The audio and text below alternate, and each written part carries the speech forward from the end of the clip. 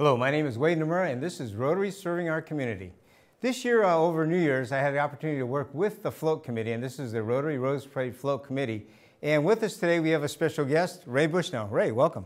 Wade, thank you. Uh, tell us a little bit about yourself. What do you do for a living? And Uh, I run a uh, printing and mailing service, primarily helping nonprofits with uh, fundraising and marketing, branding. And uh, I've been involved uh, Rotary since 1990, and I've been uh, on the uh, float committee for about 20 years. wow. So, how'd you get involved with Rotary? Uh, these guys I played racquetball with. Oh, really? They, they, yeah, they, five or six of them are always talking about Rotary. Invited me to a few meetings, and, uh, and it just seemed like a like a great idea. And uh, and so here I am. Good, good. And uh, the club that you belong to, because you're down from down south, right? Uh, Yeah, I'm from uh, Arcadia. Is my home Arcadia. Okay, Yeah, okay, I'm- got it, got it. Started out there and stayed there ever since. So, tell me how you got involved with the actual float committee. Well, Conrad von Bibra called me up one day. Uh, he's a PDG from 5300 from our district, and he wanted to talk to me about how I could help uh, Rotary and get more involved. He didn't what, give me anything real specific.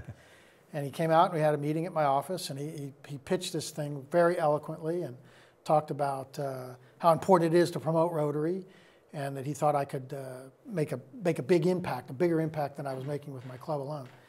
And uh, at the very end of it, he said, What I'm talking about is the Rose Parade. And I, I said, Oh, well, okay. and uh, uh, so I got involved uh, just as a committee member for a few years, went on the board, and, uh, and I was actually chair of the committee in, uh, for the 2008 float. Wow. Okay, great, great. Now, as far as Rotary and uh, the float, tell us a little bit how those relate. Now, is the float your primary project that you do for Rotary, or do you do other projects also? I'm very involved with float. That's uh, I do a little bit of stuff with my club, uh, but uh, the the float is very big to me. I, I spend a lot of time on that. The marketing of it, we're we're marketing to uh, to all of North America, the USCB region, and uh, so it, it's a lot. It's about eight thousand clubs. Uh, and so we're putting the marketing materials together. It's a year-round job. It's not, not just a matter of uh, Definitely Oh, so. Actually, beyond a year's job, it keeps going and going and going, actually doesn't it it? does. Yeah. well, um, I got a rendering here that uh, you brought with us. Tell us a little bit about this one, and go ahead and show that one here to the audience. This is uh, from the 2017 float. It's uh, a, a traveling dragon. We've got uh, some, some spectacular floral presentation on here. And uh, on this traveling dragon, we've got the uh, uh, six areas of focus that Rotary's primarily working on around the world. Okay. Uh, this float had uh, some animation to it. The tail moved back and forth. The eyelids fluttered. Uh, there was a uh, smoke blast out of, out of his nose. And how do you actually select the the rendering? In other words, I believe this is one of a set of maybe 60 that we saw as a committee, right? That's correct. And then you pick out the one that you want from Phoenix Company, right? Exactly, Okay. exactly. Phoenix Decorating is our builder, and they present to us some ideas in a, in a wide variety of ways. And uh, this one was a, was a whimsical rendition of, of, a, of a message that, that we could send. It's, uh, it's important from a float standpoint that the, that the float look nice. That gets us attention. You know, the hope is that, that we've got something that's very attractive that people won't turn away from and look at what's next, but they'll really be focused on that. And this certainly did it. I mean, This was a, you know, this was a very colorful piece, and and it, it really captured the attention of. of So I see the uh, the baggage has the six pictures right there with the uh, areas of focus. Those are uh, the Rotary Foundation's view of improving humanity. You have the the uh, float with the globe in front, but where did the dragon come from? You know, the dragon was a was a k- kind of a mythical creature, uh, just a traveling dragon. He's friendly. He's got a, a nice smile on his face. Uh, he's got the uh, medallion for the hundred years of the Rotary Foundation around his neck. It's uh, uh, the the the idea really behind the behind the whole parade is that it's a fantasy. Right. Uh, and and this is a you know just one piece of the of the overall view of the of the parade theme, which was echoes of success.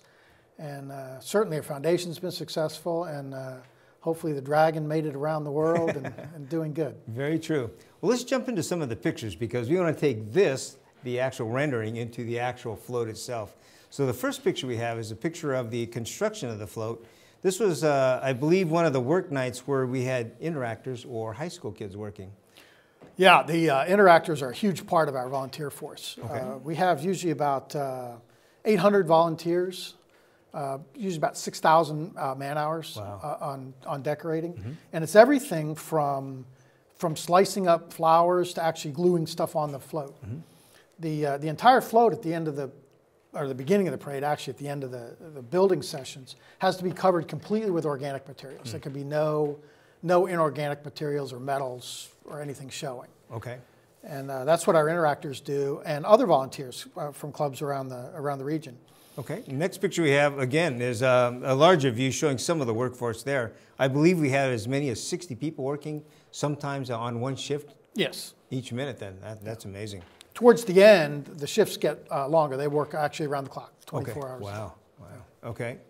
And uh, the next picture we have shows a, picture of the, um, I guess, if some of our committee members putting the sign back on us, the Rotary Foundation sign there. Yeah, the foundation sign was actually made out of uh, a, a rice background with blueberries. That's Okay. the, uh, the rotary part of it. And then there were uh, lentils and beans on the, on the rotary wheel. Got it. Got it. And the significance was that this year was the 100 year anniversary of the Rotary Foundation. Yes, correct? 2017 marks uh, 100 years of the foundation. Very nice. Next picture we have shows the saddlebags. Uh, the saddlebags on, on the back of the dragon, along with you talked about the symbols on that one. So uh, that one there was that. I would say since it's a picture, how did you convey the message of what those symbols represented? Yeah, the, the uh, messaging is also carried forward by the commentators on TV and any other materials that we distribute to Rotary clubs and to other people around. So the, the idea uh, for that messaging is probably more internal than, than external. Okay. Uh, so they, they did talk about uh, on, on some of the networks about the, uh, the six areas of focus that, that Rotary is currently involved. So actually, you do give scripts out to the media. Then there's media packages specific with that message. We do, we do, Okay. and, and it's uh, it's up to the media to, to kind of interpret that. Sometimes we get more time, sometimes we get less, uh, but they usually do a, a very good job of representing exactly uh, what Rotary is about. Great, outstanding. Next picture we have is a, a picture of the president, John Germ, and his wife, uh, Judy, showing off the T-shirts. So you actually put them to work, is what I've, I've heard. They did they did do some work, absolutely. Yeah, yeah. The president uh, always has a very full schedule, but particularly around the Rose Parade, they do a lot of stuff, and and that includes some of the some of the decorating on the float itself. That, that is great. By the way, in the background, I think that's, uh, that's my van back there, right? And, uh, I believe it is. We, he drive the president around, he gets the VIP on that one. the next picture we have is um, of the float, I believe as it was getting finished, right? Is this close to the um, actual completion? That's very close to being done. Yes, the, the uh, scaffolding has all been removed, and the, you know it's really coming together. The you know the uh, the colors are really really popping, and, Right. and this is this is very close to done. It's still in the barn, as you can see from the background, uh, but but yeah, it's close, very very close. That is good. Now, what's unique I found out about the floats is that they actually do a color, a color of the float itself when it's still in the foam stage. So they, I could identify what colors are going to be changed to what and where the flowers go. So I thought that was pretty clever. Exactly, it's almost like a paint by number. Exactly. The end of But, but you put flowers on. yeah. And then the next picture shows the uh, president and his wife actually sitting where they were seated during the parade itself. Mm-hmm.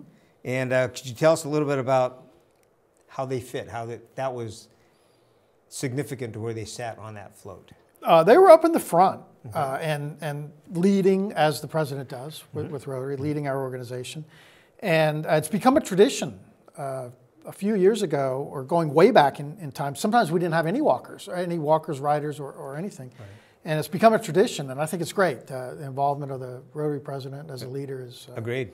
Agreed. really important. I worked uh, the first year we had one on was Kalyan Banerjee, and um, because of his, uh, since that time, I think every president's been on that float. So I think it would be a It- it- tradition from this point I- I believe it's cor- that is correct. That is great. Uh, next picture we have actually is of the judging. And so tell us a little bit about the judging process, because that's, I'd say, pretty uh, well scripted. They, they definitely hold tight to their schedules. They do, yeah. The, uh, the, the judging panel is actually uh, comprised of people from the Tournament of Roses, and they uh, have criteria they're looking for uh, entertainment value uh, and, and uh, beauty, use of flowers. There's uh, about 24 awards, I believe, Okay. that, are, that are possible. And uh, they'll look at how the riders and walkers fit in.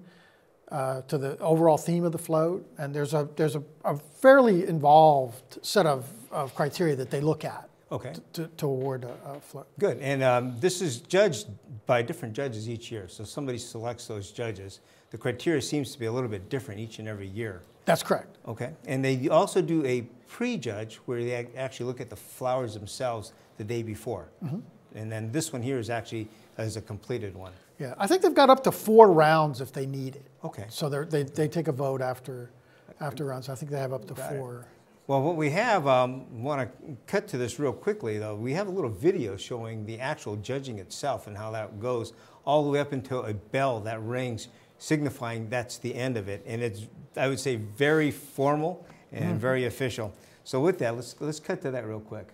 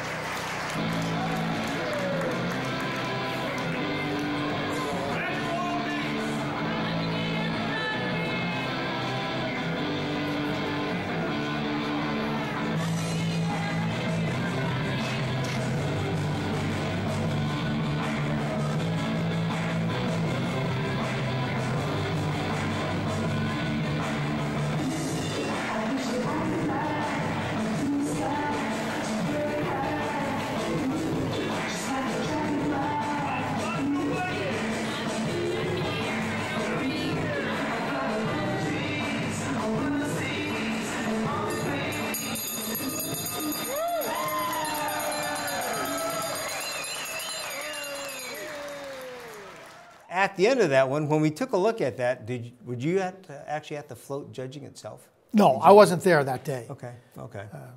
Which was, uh, I, I would say, pretty pretty impressive. Uh, it, it seemed like there was a little a hint that they enjoyed the float. Uh, Sure. A little bit of smiling going on, a little more clapping than usual. I understand that there was some applause. Right, which is not traditional, not, Not standard. okay, the next picture we have actually is um, on the float day, uh, early morning. This is probably taken about six o'clock in the morning. Uh, still freezing cold over there. I don't know how you guys live in that kind of It is chilly, kind of cold weather there. Um, but we were staging in at that time, and actually KTLA came in and did an interview with the president. I don't know if you got to see some of the footage. I have that. seen some of that, yes. Okay. Um, Very and at that time, they were actually taking a look at the float right in front of us, which was the sweepstakes winner, the Dole float. Mm-hmm. And the girl came over, the reporter came over, and she goes, Actually, do you know where the people are for the Dole float? And I says, I don't. But this is the Rotary float. And you know, she goes, Well, you know, we'll talk about this, but you guys won an award. I go, We won the, the Princess Award. And she says, Well, I'm really supposed to be doing that float over there, but tell us a little bit about this. And so I asked her. She goes, well, actually, I'm a Rotarian. So we hooked her that way. I go, well, this is the international president. You probably want to interview him. So that's how we got the airtime on that one. Excellent. Great. And then the next picture we have actually is a float coming down the parade route. Uh, actually, very impressive because you had the smoke coming out of the, uh, the nose and the eyes are blinking. Um, now, were you actually at the float, uh, the parade itself? I was. Did you view it? Yeah, we were in the uh, VIP grandstands. Okay. Right and, there. and what did you think? Oh, it's excellent. Oh, yeah, excellent. it was. a very good parade. The, overall, I think it was one of the best. I- Agreed. I, I think so too. Uh, and then the next picture we have actually shows the Princess Trophy. And um, so tell us a little bit about that. What is the Princess Trophy? The Princess Trophy is awarded for the most beautiful float under 35 feet. So there are classification, size classifications of floats um, up to 55 feet. Okay. Uh, so our float is in the 35 foot category, and the Princess Trophy is actually named after the Rose Princesses. Ah, okay. And although they don't judge it, the, the regular judging crew does this. They've got uh, this Princess Trophy is for the most beautiful float uh, under 35 feet. Great. And uh, I thought I'd bring this up also for you. Um, what's the trophy look like? Well, the trophy, there is no, no, no bowling trophy or softball trophy. Uh, the uh, banner is actually the, is actually the award. Signifies the award. yeah, yeah. and it's, uh, it's more just a figure of Exactly, exactly. Um, I did bring a picture with us on, on the bottom there that shows what we do get. So each year the committee receives um, a framed picture of the actual float itself. So Yeah, that's thought that very nice. nice. yeah. It is Yeah, a very I, nice I've one. got mine hanging in my office, and it's one of my mo- most treasured possessions. Yeah. I, I brought mine here to the studio. Hopefully we could see it, but uh, those things weigh a lot, by the way. They They're do. Pretty heavy. I'm glad you don't have to move it. the next picture we have is uh, one of the walkers, and um, it shows her with a suitcase, I believe, made out of cardboard, Mm-hmm. with the End Polio Now um, sign on that. So tell us a little bit about how that tied into the theme. Well, the foundation has been instrumental in the eradication of polio. And the, uh, the End Polio Now campaign will stay in force until polio is eradicated. Okay. And uh, so symbolizing the, you know, the, the travels that people have done, the, the immunization days that they've done, uh, these, these uh, travelers kind of fit in. The, all of the people that were involved on walking or riding on the float were dressed in a costume of local places. And uh, so the, the End Polio Now is a, an additional way to kind of extend the footprint of the float and get a get an important message across to the public. Got it. Uh, so again, part of the efforts of the foundation itself is being, well, End Polio Now is their number one objective. Yeah.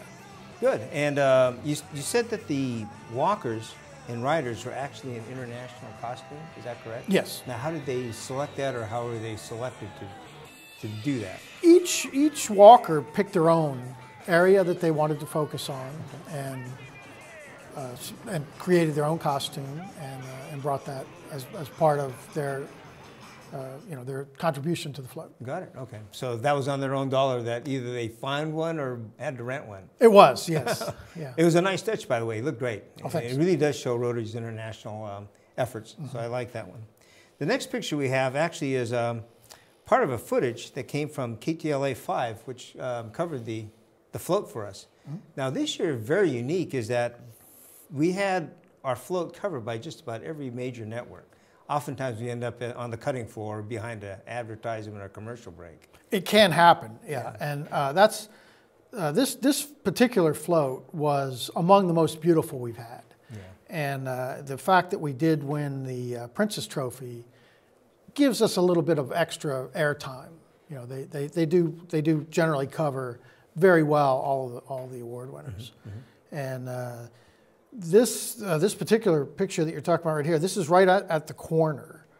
And there's about 700,000 people uh, that line the parade route.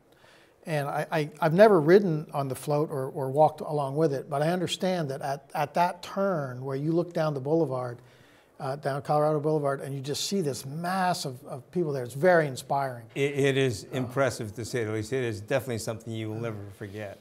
Yeah, it is. We got to get you on the float one of these times then.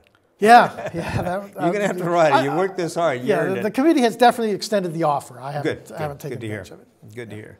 And then uh, with KTLA, also ABC, uh, I heard, uh, and their affiliates covered it also quite well. So They did. That we got about a nice. three-minute uh, featurette uh, where they had taken some footage off-site, off off the parade site, and, and worked that in with it as well. Good.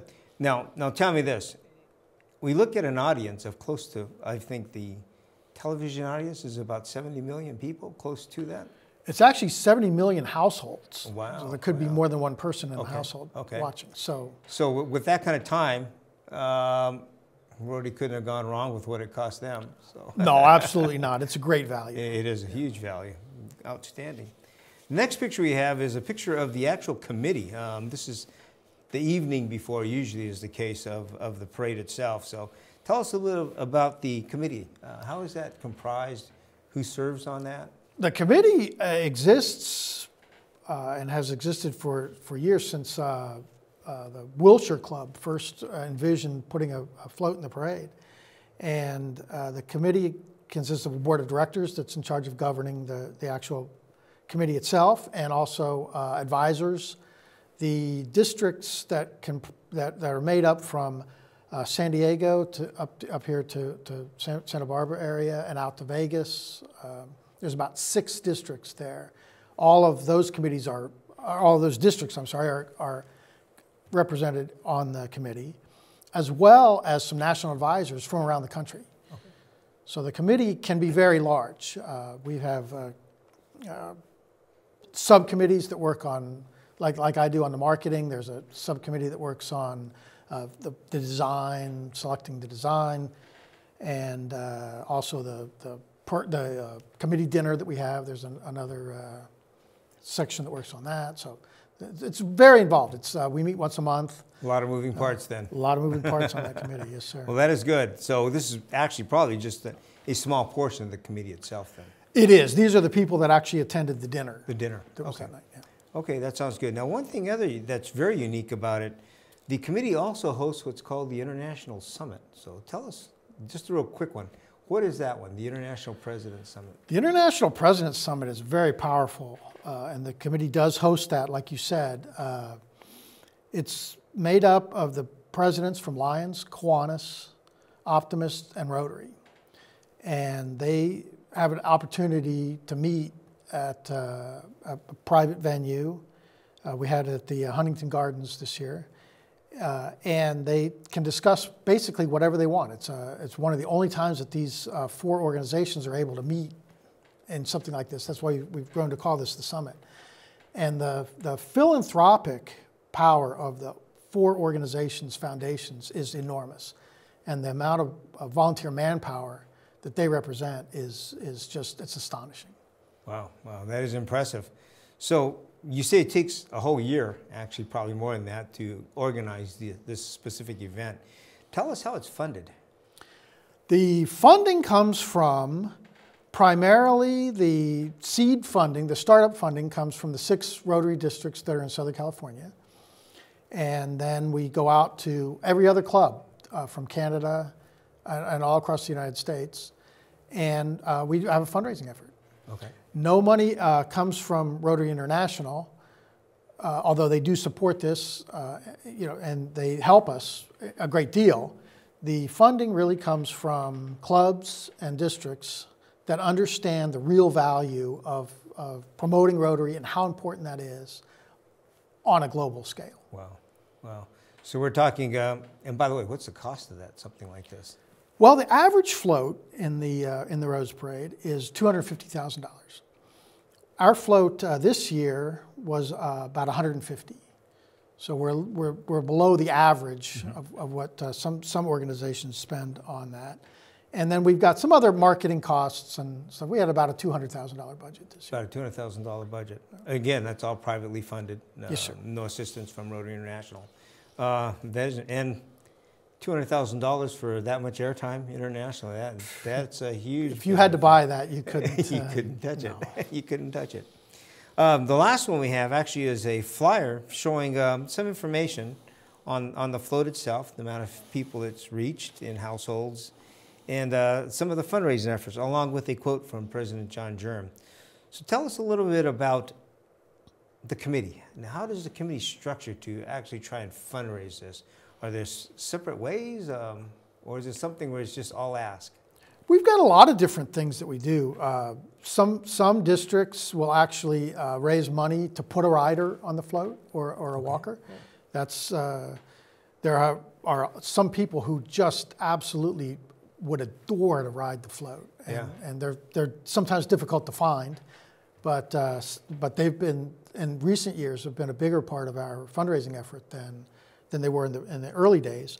Uh, also, clubs understand the value of uh, membership opportunities and for people to just know a little bit more about Rotary. We all do a lot of things for, for public relations. You know, we wear our Rotary pins, we've got signs in front of the city, you know, welcome to your city, and there's a sign of the service organizations there. And those are all efforts, just like this is. So uh, it's interesting, the membership applications increase for Rotary in times when Rotary is more in the public eye. And that doesn't mean that every club is going to get a new member because we had a float, but it's interesting that applications do go up at a time when there's, when there's more activity in the, in the media. True. Well, actually, I heard of um, a number of occasions where people saw the float and actually looked for Rotary clubs. And when I say that, there's quite a few that I've heard of out there from different clubs saying that, you know what, they came looking for us because of the float they saw in the message. Yeah, that's great. So that is huge. And unfortunately, we can't measure that. We have no idea. Very difficult to measure. It, it really is. But um, that, that, there again, the float itself, some people ask why, but I think it puts it out on an international platform for people to see, along with the message. It does. PR is, you know, it's like you said, it's very difficult to measure, but it's extremely important. Uh, I'll give you an example. The milk, uh, uh, milk board, I think it's the milk board, had a float in the parade this year. Uh, everybody's heard of milk. Yeah. You know, there's no, they're not getting any any new customers because they they put a float out there. It's just important to elevate your organization on a global scale and remind people that you're there, and that's what we've done. Well, thank you very much, Ray, for your time and and effort, by the way. Sure appreciate it. Certainly, Wade. Um, outstanding float. Again, uh, congratulations to you and the committee for all the great work you've done. Well, thank you so much. And uh, again, well, we'll be in touch with you at the next meeting. with that, everybody, thank you very much. Thanks for watching the Rose, Rose Parade and seeing it float itself on TV. We hope you enjoyed that. And again, we can use your help on that. It's a fundraiser that we do all year long. With that, thank you very much, and we'll see you next time.